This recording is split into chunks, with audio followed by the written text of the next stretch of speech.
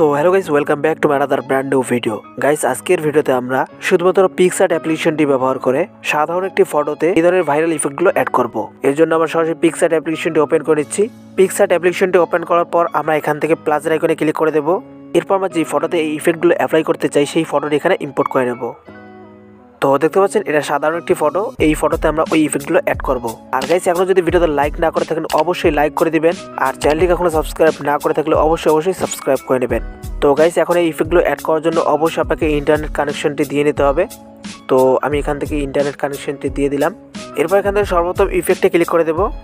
নিচে কিন্তু আমরা এখানে অনেকগুলো ইফেক্ট পেয়ে যাব। তো আমরা এখান থেকে ব্ল্যাক অ্যান্ড হোয়াইট অর্থাৎ বি অ্যান্ড ডাব্লু এই ইফেক্টে ক্লিক করে দেবো।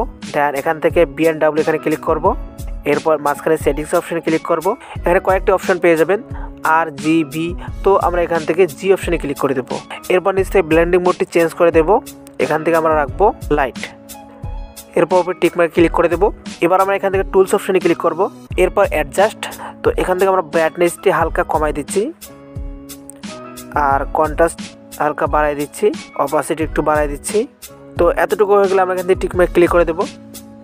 এরপর আবার ইফেক্টে ক্লিক করব। এরপর এখান থেকে এফেক্টসে ক্লিক করব। এখানে আমরা দেখতে পাবো এসডি আর একটি ইফেক্ট তো আমরা এই ইফেক্টটি অ্যাপ্লাই করে নেব। এরপর সেটিংসে ক্লিক করব।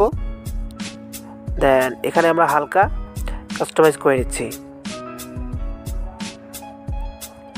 এরপর আমরা এখান থেকে টিক মার্ক ক্লিক করে দিচ্ছি। ওকে গাইস এরপর আমরা এখানে একটি ওভারলে ফটো অ্যাড করে নেব। এর জন্য অপশনগুলো এদিকে নিয়ে আসব।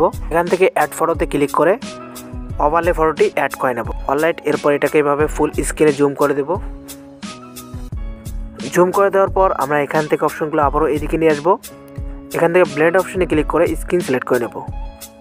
আর আমরা চাইলে এখান থেকে অপাসিটি হালকা কমাই দিতে পারি।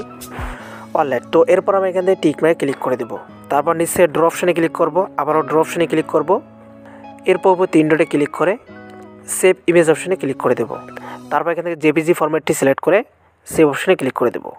তো বন্ধুরা, এই ছিল আজকের ভিডিও ভিডিওটি কেমন লাগল অবশ্যই কমেন্টে জানাবেন। আর এখনও যদি ভিডিওতে লাইক না করে থাকেন অথবা চ্যানেলকে সাবস্ক্রাইব না করে থাকেন, তো অবশ্যই অবশ্যই ভিডিওতে লাইক করে চ্যানেলটিকে সাবস্ক্রাইব করে নেবেন। তো গাইজ কথা হবে নেক্সট কোনো ভিডিওতে সে পর্যন্ত ভালো থাকবেন, সুস্থ থাকবেন। আল্লাহ হাফেজ।